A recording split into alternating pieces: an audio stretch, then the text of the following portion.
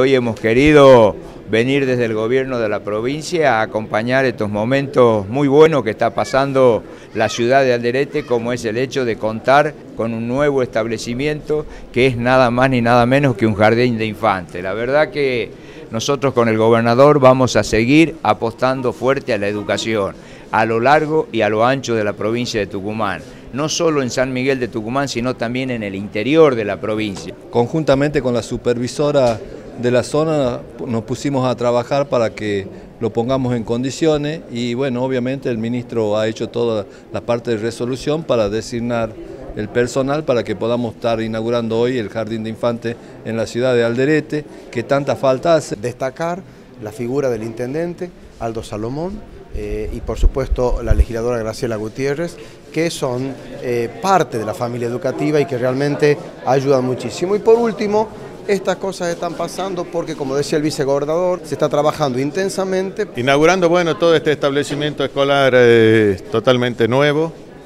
federalismo argentino acompañado de, como siempre lo hacemos, con el vicegobernador de la provincia, Osvaldo Jaldo. Son los grandes pasos que vamos dando en el Tucumán que queremos y en el Tucumán que soñamos hacia adelante. Y en ese sentido también, con el gobernador, con los legisladores, estamos haciendo un esfuerzo para que los chicos lleguen a la escuela, porque de nada sirve tener edificios nuevos y que los chicos no concurran. Por eso es que también hemos implementado el boleto estudiantil gratuito. Están hoy costeados financieramente con el presupuesto de la honorable legislatura de la provincia de Tucumán. Desde el primer día hemos venido apostando fuerte a la educación y no hay duda que lo vamos a seguir haciendo.